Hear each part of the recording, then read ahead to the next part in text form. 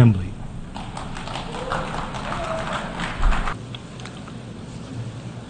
বিসমিল্লাহির রহমান রহিম মাননীয় সভাপতি,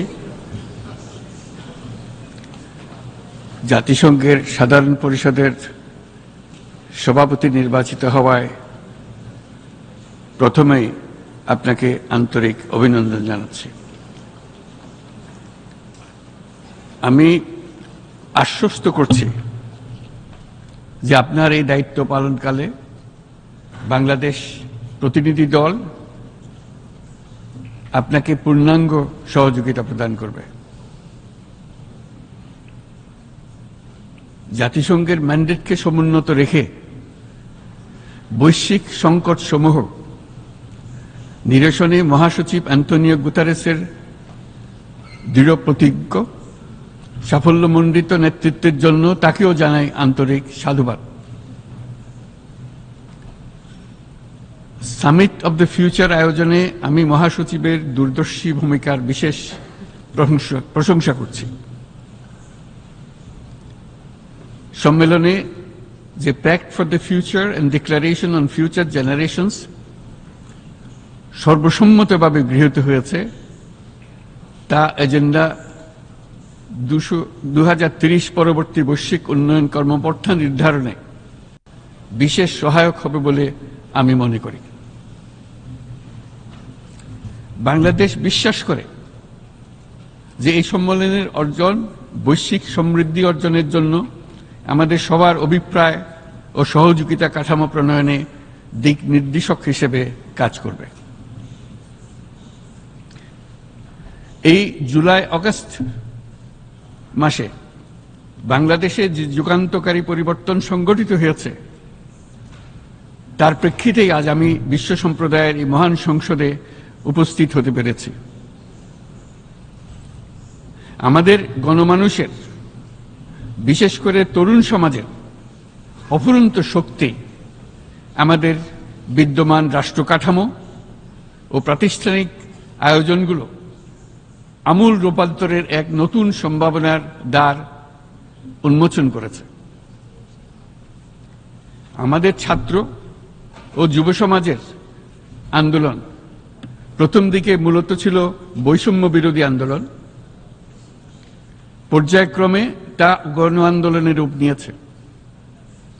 এরপর সারা পৃথিবী অবাক বিস্ময়ে দেখেছে কীভাবে সমগ্র বাংলাদেশের মানুষ একনায়কতন্ত্র, নিপীড়ন, বৈষম্য, অবিচার ও দুর্নীতির বিরুদ্ধে রাজপথ ও সামাজিক যোগাযোগের মাধ্যমে দৃঢ়ভাবে রুখে দাঁড়িয়েছিল।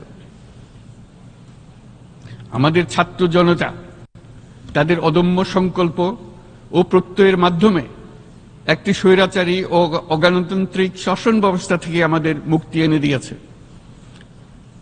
তাদের এই সংকল্পের মধ্যেই আমাদের দেশের ভবিষ্যৎ নিহিত।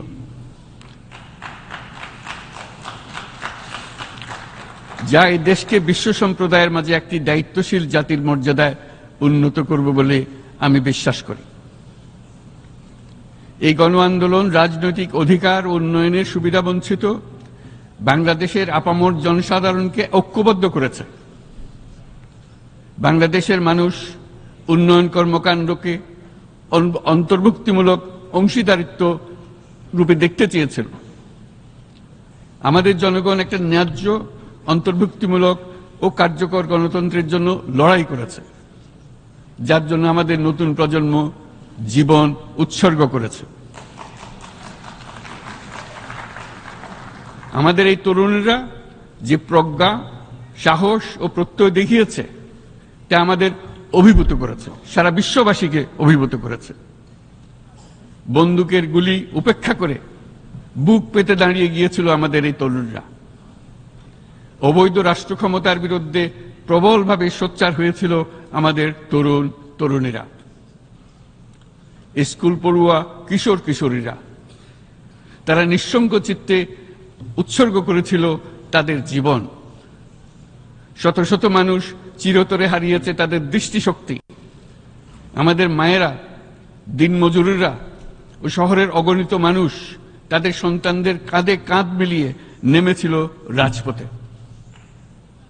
তপ্ত রোদ, বৃষ্টি, মৃত্যু ভয়কে তোয়াক্কা না করে তারা সত্য ন্যায়সঙ্গত আকাঙ্ক্ষার বিরুদ্ধে দীর্ঘকালব্যাপী রাষ্ট্রযন্ত্রকে পরিচালনা করার অশুভ ষড়যন্ত্রকে পরাভূত করেছিল। জনগণের এই আন্দোলনে আমাদের জানা মতে প্রায় আটশোতেরও বেশি জীবন আমরা হারিয়েছি স্বৈরাচারী শক্তির হাতে।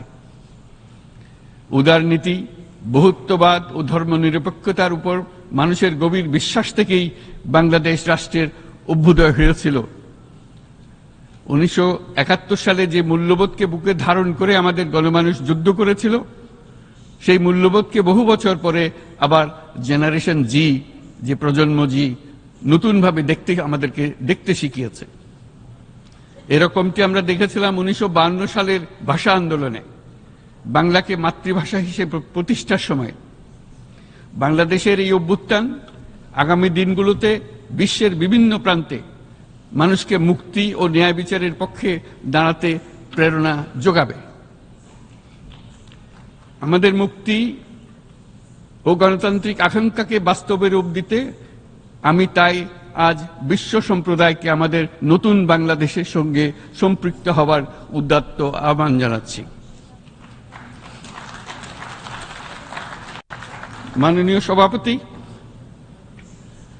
যে রাষ্ট্র কাঠামো দুঃসহ হয়ে হয়ে গেছে, তার পুনর্গঠনের জন্য আমাদের তরুণরা দেশের আপামর জনসাধারণ একমত হয়ে আমার এবং আমার উপদেষ্টা পরিষদের উপর আস্থা রেখে সরকার পরিচালনার এক মহান দায়িত্ব আমাদের উপর ন্যস্ত করেছে। এই দায়িত্ব গ্রহণের পর আমরা গভীর বিস্ময় ও হতাশার সঙ্গে মুখোমুখিভাবে দেখতে পাচ্ছি কীভাবে সর্বগ্রাসী সর্বগ্রাসী দুর্নীতি একটি কার্যকর গণতান্ত্রিক ব্যবস্থাকে ধ্বংসস্তূপে পরিণত করেছে। কীভাবে রাষ্ট্রের মূল প্রতিষ্ঠানগুলোকে নির্মমভাবে দলীয়করণের আবর্তে বন্দী করে রাখা হয়েছিল। কীভাবে জনগণের অর্থকে লুটপাট করা হয়েছিল। কীভাবে একটি বিশেষ স্বার্থান্বেষী গোষ্ঠী সমস্ত ব্যবসা বাণিজ্যকে অন্যায়ভাবে নিজেদের হাতে কুক্ষিগত করে দেশের সম্পদ অবাধে বিদেশে পাচার করে দিয়েছে। এক কথায়, কীভাবে প্রত্যেকটি পর্যায়ে ন্যায়, নীতি ও নৈতিকতা অদৃশ্য হয়ে গিয়েছিল। এরকম এক অবস্থার দেশকে পুনর্গঠন এবং জনগণের কাঙ্ক্ষিত রাষ্ট্র ব্যবস্থা প্রতিষ্ঠিত করার জন্য আমাদের উপর দায়িত্ব প্রদান করা হয়েছে। অতীতের ভুলগুলোকে সংশোধন করে একটা প্রতিযোগিতামূলক ও শক্তিশালী অর্থনীতি এবং ন্যায়ভিত্তিক সমাজ ব্যবস্থা গড়ে তোলায় এই মুহূর্তে আমাদের মূল লক্ষ্য। বর্তমান পরিবর্তিত পরিস্থিতিতে সকল রাজনৈতিক দল এখন স্বাধীনভাবে তাদের মতামত প্রকাশ করতে পারছে। যে সব ব্যক্তি বা প্রতিষ্ঠান রাষ্ট্রীয় কাজ ও সিদ্ধান্ত গ্রহণ করার প্রক্রিয়ায় সম্পৃক্ত, তাদের প্রত্যেকের জবাবদিহিতা নিশ্চিত করাই আমাদের অগ্রাধিকার। আমরা মানুষের মৌলিক অধিকারকে সমুন্নত ও সুরক্ষিত রাখতে দৃঢ় প্রতিজ্ঞ। আমাদের দেশের মানুষ মুক্তভাবে কথা বলবে, ভয়ভীতি ছাড়া সমাবেশ করবে, তাদের পছন্দের ব্যক্তিকে ভোট দিয়ে নির্বাচিত করবে, এটাই জাতির আকাঙ্ক্ষা। এবং এটাই আমাদের লক্ষ্য।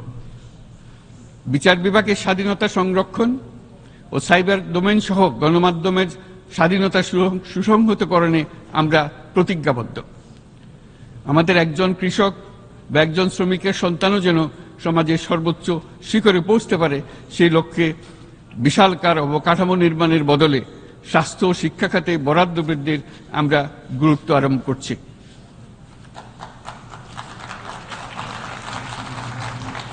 রাষ্ট্র ব্যবস্থার সকল পর্যায়ে সুশাসন ফিরিয়ে আনাই আমাদের অভিষ্ট।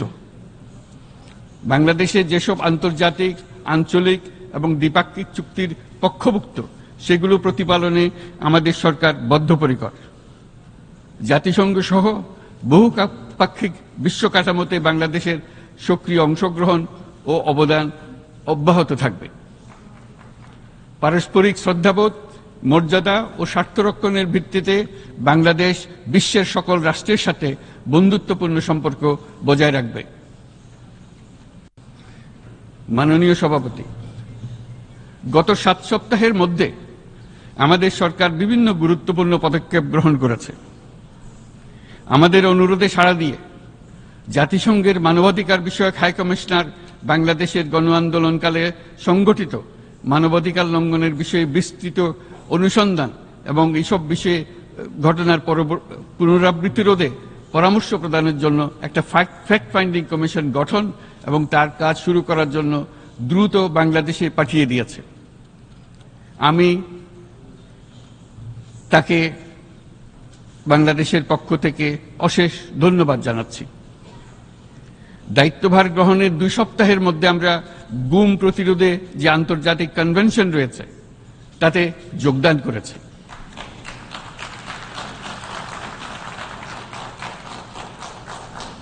এর আশু বাস্তবায়নের জন্য প্রয়োজনীয় দেশীয় আইন ও বিধি প্রণয়নে আমরা এখন প্রক্রিয়া শুরু করেছি। বাংলাদেশে বিগত দেড় শতকে, বাংলাদেশে গত দেড় দশকে যে সমস্ত গুমের অভিযোগ রয়েছে, সেগুলো তদন্ত করার জন্য একটি তদন্ত কমিশন এই মুহূর্তে কর্মরত আছে।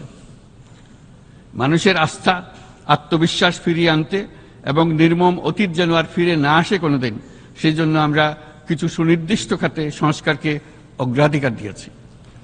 সেই লক্ষ্যে আমরা বিদ্যমান নির্বাচন ব্যবস্থা, সংবিধান, বিচার ব্যবস্থা, জনপ্রশাসন আইন শৃঙ্খলা ব্যবস্থা, সংস্কারে, সংস্কারের জন্য স্বাধীন কমিশন গঠন করেছে।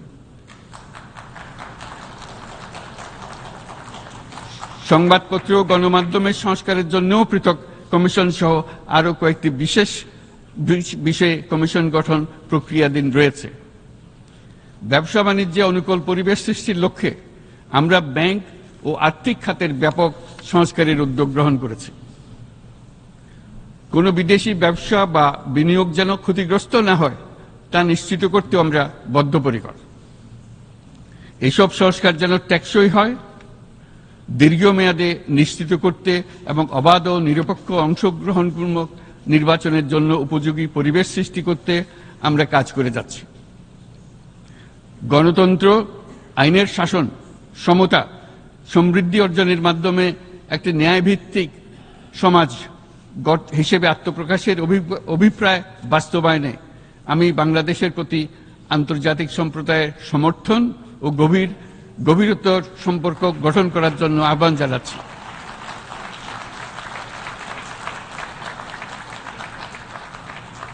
মাননীয় সভাপতি, বাংলাদেশ মনে করে যে শান্তি রক্ষা ও সংঘাত মোকাবেলা জনগণের সমৃদ্ধি নিশ্চিত করার মূল চালিকা শক্তি।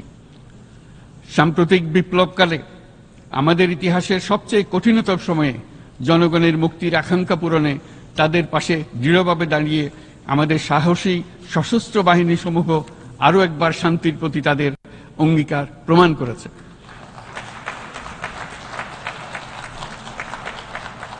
এটা সম্ভব হয়েছে শান্তি রক্ষায় আমাদের অঙ্গীকারের কেন্দ্রবিন্দুতে মানবাধিকারকে স্থান দেওয়ার ফলে। জাতিসংঘের পিস বিল্ডিং কমিশনের সূচনা লগ্ন থেকেই শান্তি রক্ষার মতো শান্তি বিনির্মাণেও বাংলাদেশ সমান অঙ্গীকার ব্যক্ত করে এসছে। আমাদের দিনগুলোতে আমরা জাতিসংঘের শান্তিরক্ষা ভিত্তিক অবদানের ধারাবাহিকতা, রক্ষা, সমুন্নত ও প্রসারিত করতে বদ্ধপরিকর। জাতিসংঘের শান্তিরক্ষা কার্যক্রমে অবদানকারী তৃতীয় বৃহত্তম রাষ্ট্র হিসেবে বাংলাদেশ এখন পর্যন্ত তেতাল্লিশটি দেশে তেষট্টিটি মিশনে শান্তিরক্ষী প্রেরণ করেছে।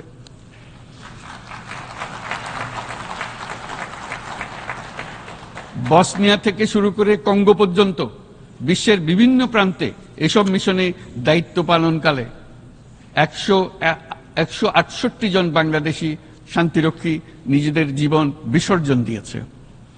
আমরা আশা করি যে কোনো অবস্থায় নানা প্রতিকূলতা সত্ত্বেও জাতিসংঘের ভবিষ্যৎ শান্তিরক্ষী কার্য, কার্যক্রমগুলোতে বাংলাদেশের প্রতিরক্ষা বাহিনীর সদস্যরা একইভাবে অবদান রাখার সুযোগ পাবে।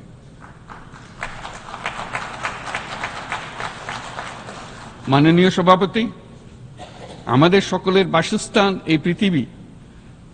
বৈশ্বিক অগ্রাধিকারগুলোকে সঠিকভাবে নির্ণয় করতে আগ্রহী। জলবায়ু পরিবর্তন আমাদের সকলের অস্তিত্বের প্রতি হুমকি স্বরূপ। এই গ্রীষ্মে সর্বকালের রেকর্ড ভঙ্গকারী তাপদাহ আমাদের জলবায়ুজনিত পরিবর্তনের কথা স্পষ্টভাবে স্মরণ করে দিয়েছে, স্মরণ করিয়ে দিয়েছে। আমাদের যা প্রয়োজন তা হলো জলবায়ু সম্পর্কিত ন্যায় বিচার, যাতে করে দায়িত্ব, দায়িত্বজ্ঞানহীন সিদ্ধান্ত, উদাসীন আচরণ, কিংবা এর মাধ্যমে সাধিত ক্ষতির বিষয়ে যারা সংশ্লিষ্ট, তাদের দায়বদ্ধ করা যায়।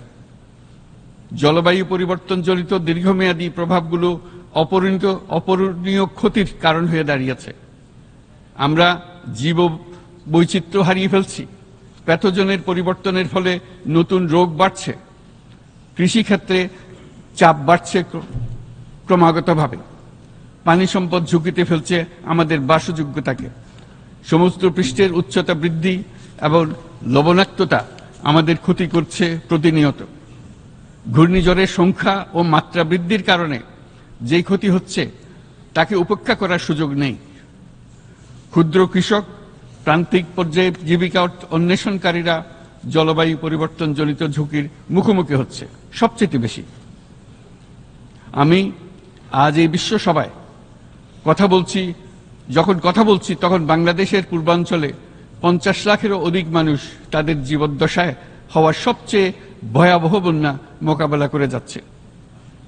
মহাসচিব গুতেরেস আমাদেরকে দেখিয়েছেন যে বিদ্যমান পরিক্রমা অব্যাহত থাকলে বিশ্বের গড় তাপমাত্রা দুই দশমিক সাত ডিগ্রি সেলসিয়াস বৃদ্ধির দিকে অগ্রসর হতে থাকবে।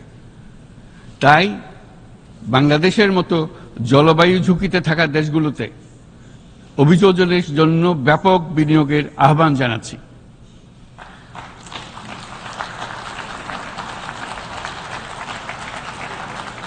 এছাড়াও উদ্ভাবনী শক্তির প্রয়োগ অতিরিক্ত অর্থায়নের মাধ্যমে লস অ্যান্ড ড্যামেজ ফান্ডকে কার্যকর করা আমাদের জন্য অত্যন্ত গুরুত্বপূর্ণ।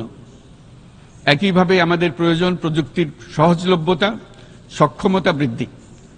নির্দিষ্ট করে বললে আমাদের দরকার জীবন রক্ষাকারী প্রযুক্তি, বিশেষত কৃষি, পানি এবং জনস্বাস্থ্য খাতে, যেখানে ক্ষুদ্র ক্ষুদ্র উদ্ভাবন এবং সমাধানসমূহ ঝুঁকিতে থাকা জনগোষ্ঠীকে রক্ষা করতে পারে। জলবায়ু সংকটের মোকাবেলা এবং বৈশ্বিক অর্থনীতি সুসংহতকরণে আমাদের যুগপতভাবে কাজ করতে হবে। বিশ্ব সম্প্রদায় এখন কার্বন মুক্ত পৃথিবী গড়ে তুলতে মনোযোগী হচ্ছে।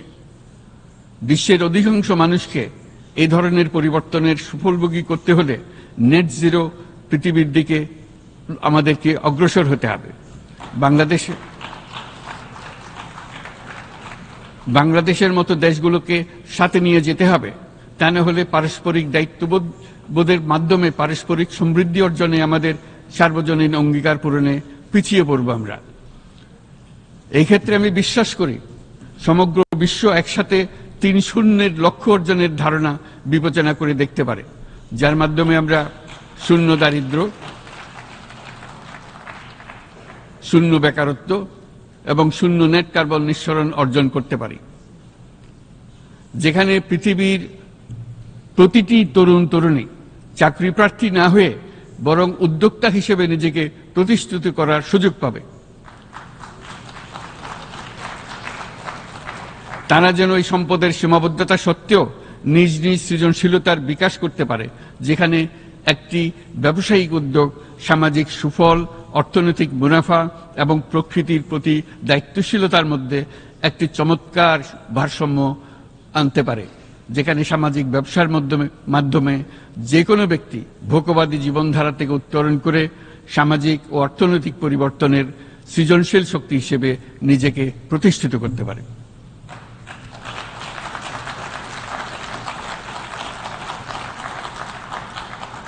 এই সময়ে তাই প্রয়োজন উন্নত, উন্নয়নশীল সকল দেশসমূহ এবং বিভিন্ন অংশীদারদের মধ্যে নতুন দৃষ্টিভঙ্গি, নতুন মূল্যবোধ এবং নতুন একতা।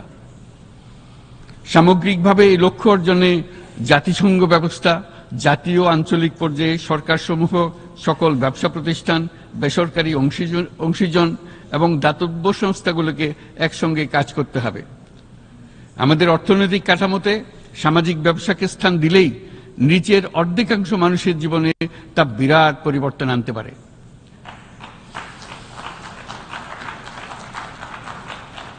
এই পদক্ষেপ একই সঙ্গে জলবায়ুর ধ্বংসাত্মক গতিকে সফলভাবে রোধ করতে পারে এবং বাজারে বাজার ব্যবস্থার মাধ্যমেই এই মীমাংসা হতে পারে। এ বিষয়ে আমি মহাসচিব গুতেরেসের বিশেষ দৃষ্টি আকর্ষণ করছি। মাননীয় সভাপতি, বহুমুখী সংকটে জর্জরিত বর্তমান বিশ্বে যুদ্ধ এবং সংঘাতের ফলে ব্যাপক ভিত্তিতে মানুষের অধিকার খর্ব হচ্ছে। বিশ্ববাসীর উদ্বেগ এবং নিন্দা সত্ত্বেও গাজায় গণহত্যা থামছে না আর।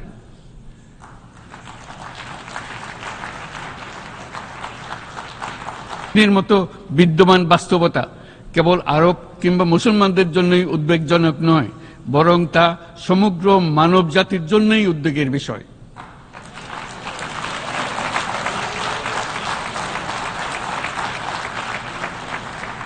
একজন মানুষ হিসেবে প্রত্যেক ফিলিস্তিনির জীবন অমূল্য।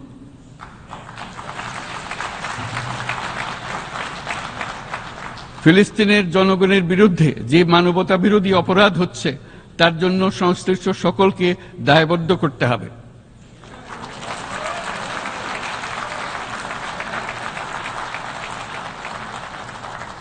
ফিলিস্তিনের জনগণের উপর চলমান নৃশংসতা, বিশেষত নারী এবং শিশুদের সাথে প্রতিনিয়ত যে নিষ্ঠুরতা বিশ্ব দেখাচ্ছে, তা থেকে নিস্তারের জন্য বাংলাদেশ অনতিবিলম্বে সম্পূর্ণ যুদ্ধবিরতির আহ্বান জানাচ্ছে।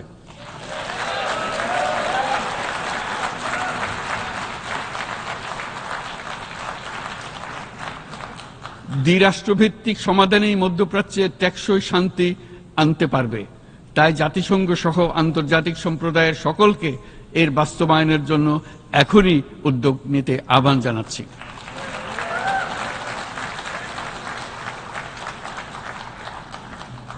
গত আড়াই বছর ধরে ইউক্রেনে চলমান যুদ্ধে বহু মানুষ প্রাণ হারিয়েছে। এই যুদ্ধের প্রভাব সর্বব্যাপী। এমনকি বাংলাদেশের অর্থনীতিতেও এর নেতিবাচক প্রভাব আমরা অনুভব করছি। আমরা তাই উভয় পক্ষকে সংলাপে বসে বিরোধ নিরসনের মাধ্যমে যুদ্ধের অবসান ঘটানোর আহ্বান জানাচ্ছি। মাননীয় সভাপতি, বাংলাদেশ গত সাত বছর যাবৎ মায়ানমার হতে আগত বারো লাখেরও বেশি রোহিঙ্গাদের মানবিক কারণে আশ্রয় দিয়ে আসছে। এর ফলে আমরা বিরাট সামাজিক, অর্থনৈতিক পরিবেশগত ক্ষতির সম্মুখীন হচ্ছি। মায়ানমারের অভ্যন্তরীণ সমস্যা থেকে সৃষ্ট এই সংকট বাংলাদেশ ও আমাদের অঞ্চলের জন্য প্রথাগত ও অপ্রথাগত উভয় ধরনের নিরাপত্তা ঝুঁকির কারণ হয়ে দাঁড়িয়েছে। মায়ানমার থেকে বাংলাদেশে বলপূর্বক বাস্তুচ্যুত রোহিঙ্গাদের সহায়তা করতে আমরা অঙ্গীকারবদ্ধ। আমরা রোহিঙ্গাদের জন্য মানবিক সহায়তা কার্যক্রম চালু রাখা এবং তাদের ট্যাক্সই প্রত্যাবর্ষণ নিশ্চিত করার উদ্দেশ্যে আন্তর্জাতিক সম্প্রদায়ের পর্যাপ্ত সহায়তা অব্যাহত রাখার আহ্বান জানাচ্ছি। রোহিঙ্গাদের সাথে সংগঠিত হওয়া ব্যাপক ভিত্তিক মানবাধিকার লঙ্ঘনের জন্য আন্তর্জাতিক বিচার আদালত এবং আন্তর্জাতিক অপরাধ আদালতে চলমান বিচার প্রক্রিয়ার মাধ্যমে ন্যায় বিচার নিশ্চিত করাও সমানভাবে গুরুত্বপূর্ণ। রোহিঙ্গারা যাতে নিজ দেশে স্বাধীন এবং মর্যাদাপূর্ণ জীবন যাপন করতে পারে, সেই লক্ষ্যে অনুকূল পরিবেশ তৈরিতে জাতিসংঘ অন্যান্য আন্তর্জাতিক প্রতিষ্ঠানের ধারাবাহিক প্রচেষ্টার প্রশংসা দাবিদার। এই লক্ষ্যে রোহিঙ্গারা যাতে পর্যাপ্ত নিরাপত্তা ও অধিকার নিশ্চিত করে তাদের নিজ ভূমি রাখাইনে ফিরে যেতে পারে, তার পথ সুগম করা অত্যন্ত দরকার। মায়ানমারের প্রতিনিয়ত পরিবর্তনশীল অবস্থা বিবেচনা রেখে বাংলাদেশ আন্তর্জাতিক সম্প্রদায়ের সাথে একযোগে রোহিঙ্গাদের নিজ দেশে মর্যাদাপূর্ণ টেকসই প্রত্যাবর্ষণের জন্য পরিবেশ সৃষ্টিতে কাজ করতে প্রস্তুত।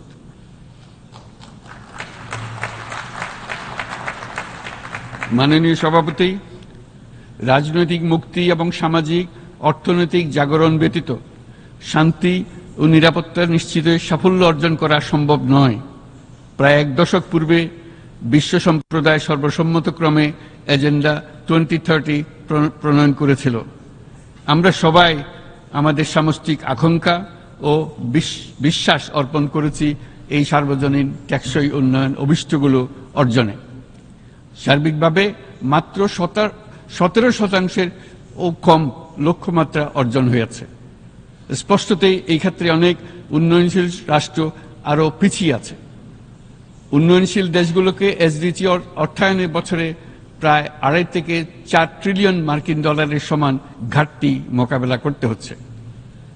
উন্নয়নশীল বিশ্বের ঋণের বোঝা, ক্ষয়িষ্ণু আর্থিক সক্ষমতা এবং জলবায়ু পরিবর্তনের ক্ষতিকর প্রভাবের কারণে বাংলাদেশের মতো দেশগুলিতে বেশি ঝুঁকিতে রয়েছে। আমরা আশা করি উন্নয়নের জন্য অর্থায়ন সংক্রান্ত চতুর্থ আন্তর্জাতিক সম্মেলনে এই ধরনের জটিল এবং কাঠামোগত সমস্যাগুলোর দিকে নজর দেওয়া হবে। বহুপাক্ষিক আর্থিক প্রতিষ্ঠানগুলোকে এমন অভিন্ন লক্ষ্যে নিয়ে যাওয়ার কাজ করতে হবে, যাতে সকল রাষ্ট্র সমানভাবে সম্পদ ও সুযোগের ব্যবহার করতে পারে। তারা নিজেদের কর্মসূচিতে সামাজিক ব্যবসাকে গুরুত্বপূর্ণ ভূমিকা দিতে পারে, যাতে নিম্ন আয়ের দেশগুলোর বাস্তবতাকে বিশেষভাবে মোকাবেলা করা যায়, যা ব্যবসায়ী উদ্যোগ এবং ব্যক্তির সৃজনশীলতাকে উদ্বুদ্ধ করে। যা বঞ্চিত জনগোষ্ঠীকে বিশালভাবে সহায়তা করে। এই ক্ষেত্রে অবৈধ অর্থের প্রবাহ এবং উন্নয়নশীল দেশগুলো থেকে সম্পদ পাচার বন্ধ করা অত্যন্ত আবশ্যক। উন্নয়নশীল দেশগুলো থেকে পাচার হয়ে যাওয়া সম্পদ ফেরত আনার জন্য আন্তর্জাতিক সহযোগিতা জোরদার করতে হবে। আমরা আশা করি, কর ফাঁকি রোধে আন্তর্জাতিক কর কনভেনশন অতি শীঘ্রই গৃহীত হবে। মাননীয় সভাপতি, আমরা যে নিবিড়ভাবে সংযুক্ত বিশ্বে বসবাস করছি, সেখানে অভিভাষণ এবং মানুষের অবাধ প্রবাহ এক অলঙ্ঘনীয় বাস্তবতা। বাংলাদেশি নাগরিকরা প্রতিনিয়ত বিভিন্ন দেশে অভিবাসী হিসেবে যাচ্ছেন, তারা বিভিন্ন দেশে তাদের কর্মসংস্থানের সন্ধানে আছেন, বিশ্বের বিভিন্ন প্রান্তে এই মুহূর্তে প্রায় দেড় কোটি প্রবাসী বাংলাদেশি আছেন। সকলের জন্য অভিবাসনের উপযোগিতা নিশ্চিত করতে অভিবাসনের পথ সুগম করতে হবে। আন্তর্জাতিক সম্প্রদায়কে অভিবাসীদের মানবাধিকার এবং তাদের প্রতি মানবিক আচরণ নিশ্চিত করতে হবে। অভিবাসনের উপর দু হাজার আঠারো সালে যে গ্লোবাল কম্প্যাক্ট অন মাইগ্রেশন গৃহীত হয়েছে তার পূর্ণ বাস্তবায়নে বাংলাদেশ প্রতিশ্রুতিবদ্ধ এবং একই সাথে অনিরাপদ অভিবাসন রোধেও আমরা বদ্ধপরিকর। মাননীয় সভাপতি, প্রতি বছর প্রায় পঁচিশ লক্ষ তরুণ তরুণী বাংলাদেশের শ্রমবাজারে যুক্ত হচ্ছেন। বাংলাদেশের বিপুল জনশক্তির প্রায় দুই তৃতীয়াংশ তরুণ। এই জনশক্তিকে বর্তমান ও আগামীর জন্য গড়ে তোলা বাংলাদেশের জন্য একটা বড় চ্যালেঞ্জ ক্রম পরিবর্তনশীল কর্মজগতে একজন তরুণকে প্রতিনিয়ত নতুন দক্ষতা অর্জন করতে হয়। এই কর্ম পরিষদের এই কর্ম পরিবেশের সাথে মানিয়ে নেওয়া শিখতে হয়। এই জন্য বাংলাদেশ যখন মধ্যমায়ের দেশ হিসেবে উন্নতি হচ্ছে, তখন আমরা শিক্ষা এবং প্রযুক্তিগত সহায়তা লাভের উপর বিশেষ জোর দিচ্ছি। এবার কৃত্রিম বুদ্ধিমত্তার বিষয়ে আসি। কৃত্রিম বুদ্ধিমত্তার অভাবনীয় বিকাশ এবং এর বহুমাত্রিক প্রয়োগে বাংলাদেশ বিশেষভাবে আগ্রহী। আমাদের তরুণ সমাজ জেনারেটিভ আর্টিফিশিয়াল ইন্টেলিজেন্সের সম্ভাবনা নিয়ে উচ্ছ্বসিত। একজন বিশ্ব নাগরিক হিসেবে তারাও চায় নতুন পৃথিবীতে নিয়োজিত হতে। কর্মক্ষণ হিসেবে নিজেকে গড়ে তুলতে। বাংলাদেশের মতো বৃহৎ তরুণ জনগোষ্ঠীর দেশ যাতে কৃত্রিম বুদ্ধিমত্তার প্রয়োগজনিত, অর্জিত সুফল থেকে পিছিয়ে না পড়ে, বিশ্ব সম্প্রদায়কে তা নিশ্চিত করতে হবে। একই সঙ্গে নিশ্চিত করতে হবে যেন কৃত্রিম বুদ্ধিমত্তার কারণে কর্মক্ষেত্রে মানুষের চাহিদা ক্রমাগত ক্রমাগতভাবে সংকুচিত হয়ে না যায়। এই প্রসঙ্গে আমি উল্লেখ করি যে আমরা ভিন্ন একটা ইন্টেলিজেন্স অটোনোমাস ইন্টেলিজেন্স অর্থাৎ যে কৃত্রিম বুদ্ধিমত্তা নিজেই নিজের কৃত্রিম বুদ্ধিমত্তাকে সম্প্রসারিত করতে পারে, মানুষের কোনো হস্তক্ষেপ ছাড়াই। তার ব্যাপারে আমরা বৈজ্ঞানিকদের দৃষ্টি আকর্ষণ করতে চাই। তারা যেন ক্ষেত্রে অগ্রসর হওয়ার আগে মানুষের উপরে প্রভাব সম্বন্ধে নিশ্চিত হয়ে অগ্রসর হন। আমাদের ধারণা অটোনোমাস ইন্টেলিজেন্স মানুষের অস্তিত্বকে বিপন্ন করে তুলতে পারে। কাজে এই ব্যাপারে আমাদের সম্পূর্ণ সজাগ থাকতে হবে। মাননীয় সভাপতি, আমাদের আসলে দরকার নতুন ধরনের সহযোগিতা কাঠামো। যেখানে বৈশ্বিক ব্যবসা ও জ্ঞানের অধিকারী গোষ্ঠী মানুষের চাহিদাগুলোকে যথাযথভাবে অনুধাবন করবে। আন্তর্জাতিক সহযোগিতার মাধ্যমে উন্নয়নশীল দেশগুলোর জন্য এমন একটি রূপান্তরকারী ব্যবস্থা তৈরি করতে হবে, যা কর্মসংস্থান, আর্থসামাজিক প্রতিকূলতা বা জীবিকার জন্য জুৎসয় সমাধান নিশ্চিত করবে। মাননীয় সভাপতি, আমাদের প্রচেষ্টা সক্ষমতা এবং সম্পদ একত্রীকরণের মাধ্যমে সকলের সামর্থ্য, উদ্ভাবনী শক্তি এবং সমৃদ্ধিকে কাজে লাগাতে হবে। আর্থসামাজিক উন্নয়ন এবং জলবায়ু সহনশীলতা নিয়ে আমরা প্রতিনিয়ত যে প্রতিকূলতার সম্মুখীন হচ্ছি, সম্মিলিত উদ্যোগের মাধ্যমে তার মোকাবেলা করতে হবে। বৈশ্বিক দক্ষিণের দেশগুলোকে অন্যান্য, অনন্য অর্থনৈতিক এবং সামাজিক প্রেক্ষাপটে দক্ষিণ দক্ষিণ এবং ত্রিভুজীয় সহযোগিতা এই ক্ষেত্রে বিশেষভাবে সহায়ক হতে পারে বলে আমি মনে করি। বৈশ্বিক দক্ষিণের আওয়াজকে বিশ্বব্যাপী জোরালোভাবে তুলে ধরার জন্য প্রয়োজন সম্মিলিত উদ্যোগ। সেই জন্য বৈশ্বিক এজেন্ডা প্রণয়ন ও বাস্তবায়ন নিশ্চিত করতে বৈশ্বিক দক্ষিণের দেশগুলোর মতামতকে যথাযথ গুরুত্বের সাথে বিবেচনা করতে হবে। জনাব সভাপতি, কোভিড অতিমারির অভিজ্ঞতায় আমরা দেখেছি, জনস্বাস্থ্যে ব্যাপক বিনিয়োগ কতটা গুরুত্বপূর্ণ হতে পারে? বিশ্ব স্বাস্থ্য সংস্থায় বৈশ্বিক অতিমারি চুক্তির চলমান আলোচনায় বাংলাদেশ নেতৃত্ব প্রদান করে চলেছে। আমরা চাই কার্যকর আন্তর্জাতিক সহযোগিতা, জনস্বাস্থ্য ব্যবস্থায় অর্থায়ন, প্রযুক্তি হস্তান্তর, গবেষণা ও উন্নয়ন, ভ্যাকসিন থেরাপিউটিক্সের উৎপাদন, বহুমুখীকরণ এবং সকল ভ্যাকসিনকে মেধাসত্ব অধিকার মুক্ত ঘোষণা করার ব্যাপারে ঐক্যমত্য গঠন। অসংক্রামক রোধসমূহের বিরুদ্ধে লড়াইয়ে এই বিষয়গুলি অত্যন্ত গুরুত্বপূর্ণ। জনাব সভাপতি, এবছর আমরা জাতিসংঘের সাথে বাংলাদেশের অংশীদারিত্বের সুবর্ণ জয়ন্তী উদযাপন করছি। গত পঞ্চাশ বছর ছিল আমাদের জন্য একটা পারস্পরিক শিক্ষণীয় সম্মিলিত যাত্রা। সীমিত উপায়ে বাংলাদেশ বৈশ্বিক শান্তি ও নিরাপত্তা, ন্যায়, সমতা, মানবাধিকার প্রতিষ্ঠায় ধারাবাহিকভাবে অবদান রেখে আসছে। আমাদের সমন্বিত প্রয়াসের পেছনে আছে সত্যিকার অর্থে একটি নিয়মভিত্তিক বৈশ্বিক ব্যবস্থা গড়ে তোলা। এই প্রসঙ্গে উদাহরণ হিসেবে আমি স্মরণ করছি উনিশশো সালে জাতিসংঘ সাধারণ পরিষদে ক্ষুদ্র ঋণের উপর গৃহীত রেজুলেশনের কথা। সেই সময় জাতিসংঘ দুহাজার পাঁচ সালকে ইয়ার অফ মাইক্রোক্রেডিট ঘোষণা করেছিল, যার ফলে ক্ষুদ্র ঋণ বিশ্বব্যাপী সম্প্রসারিত হবার সুযোগ পেয়েছিল। একই সময়ে বাংলাদেশের উদ্যোগে গঠিত হয়েছিল ফ্রেন্ডস অব মাইক্রোক্রেডিট। দু হাজার এক সাল থেকে সাধারণ পরিষদে কালচার অফ পিস সংক্রান্ত বাৎসরিক যে রেজলিউশন গৃহীত হয়ে আসছে, বা নিরাপত্তা নিরাপত্তা পরিষদে নারী, শান্তি ও নিরাপত্তা সংক্রান্ত যে তেরোশো পঁচিশ নম্বর রেজলিউশন গৃহীত হয়েছিল, তা বাংলাদেশের বিশ্বজনীন উদ্যোগগুলোর প্রতিফলন এবং অবদান।